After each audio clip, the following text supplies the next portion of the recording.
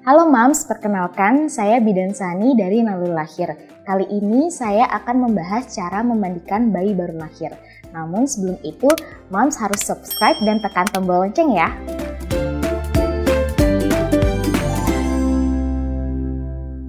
Kebanyakan ibu baru takut untuk memegang dan memandikan bayinya yang baru lahir.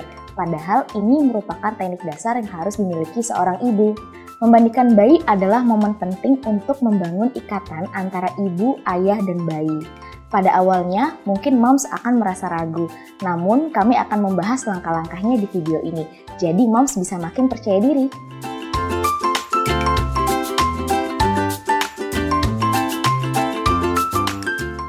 Apakah moms tahu bahwa bayi lahir dengan lapisan pelindung bernama vernix?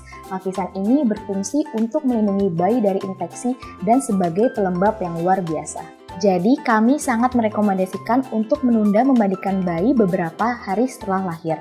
Setelah mandi pertama, cukup satu kali seminggu memandikan bayi. Karena bayi yang sering dimandikan lebih dari satu kali dalam seminggu akan beresiko terkena eksing atau penyakit kulit lainnya.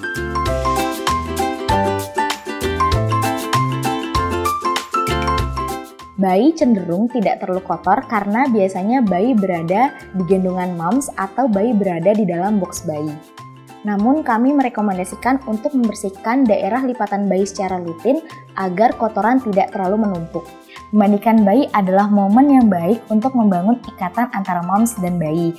Jadi jika moms ada bathtub di rumah, mom bisa membawa baby moms untuk berenang bersama.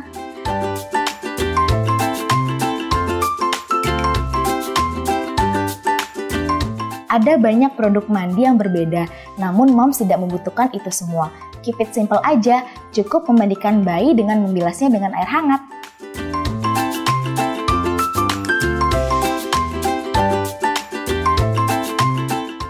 Moms tidak akan pernah salah dalam cara memandikan bayi, karena itu bayi moms. Moms bisa menentukan kapan, seberapa sering, atau peralatan apa saja yang ingin digunakan. Selama momen memandikan bayi menjadi pengalaman yang menyenangkan antara moms dan bayi moms, moms sudah melakukannya yang terbaik. Yuk moms, kita mulai aja cara memandikan bayi baru lahir. Tips dari kami untuk memandikan bayi adalah siapkan dulu perlengkapannya sebelum memandikan. Perlengkapan yang dibutuhkan adalah handuk, kapas, waslap, bak mandi. Untuk penggunaan sampo atau sabun, kami rekomendasikan setidaknya tunggu sampai usia bayi di atas 6 minggu.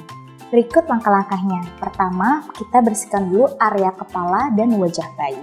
Untuk area wajah, kita bersihkan kedua mata, hidung, mulut, dan telinga, begitu juga lipatan leher dengan menggunakan kapas yang dicelupkan pada air hangat Lalu bersihkan area mata dari dalam keluar. Buang dan ganti lagi dengan kapas yang baru.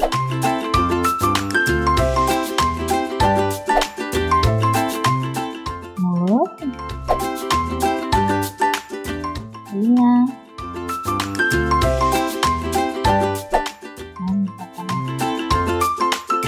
Pada prinsipnya, tetap jaga kehangatan bayi saat memandikan agar bayi tidak hipotermi. Untuk membersihkan kepala, sanggah bagian belakang dengan membentuk huruf C.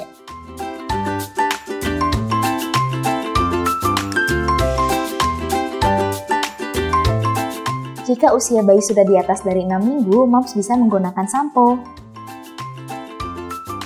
Usap perlahan, lalu bilas dengan air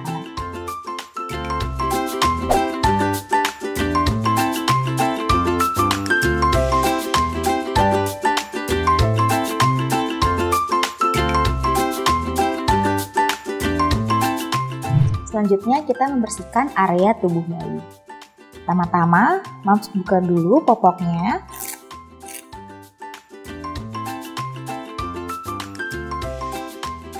Jika masih terdapat sisa kotoran, moms bisa membersihkannya menggunakan kapas dan air hangat.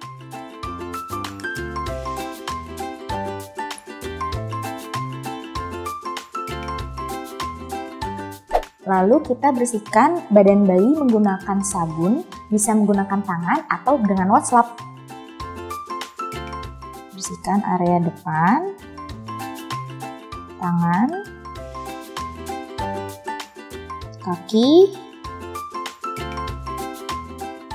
dan bagian punggung.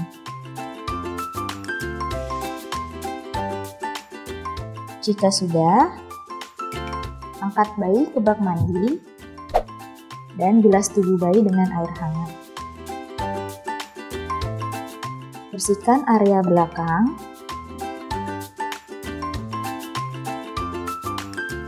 Jika moms merasa bayi sudah cukup bersih, balikan kembali dan kembalikan bayi ke atas handuk. Keringkan tubuh bayi. Tatap bayi moms, senyum, berikan sentuhan dan pijatan lembut.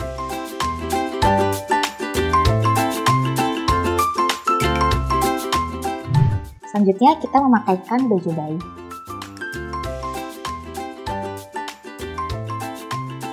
Pertama, pakaikan popok terlebih dahulu.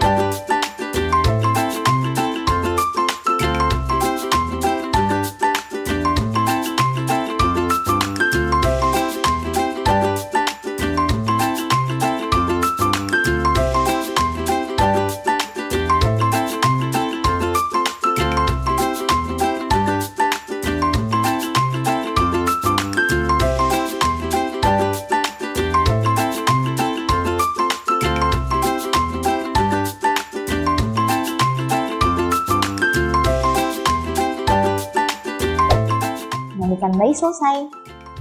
Nah, Mams, itu tadi cara memandikan bayi Mams. Simple kan? Jadi, Mams nggak perlu ragu lagi ya. Cukup lakukan persiapan sebelum memandikan bayi Mams. Semoga bermanfaat.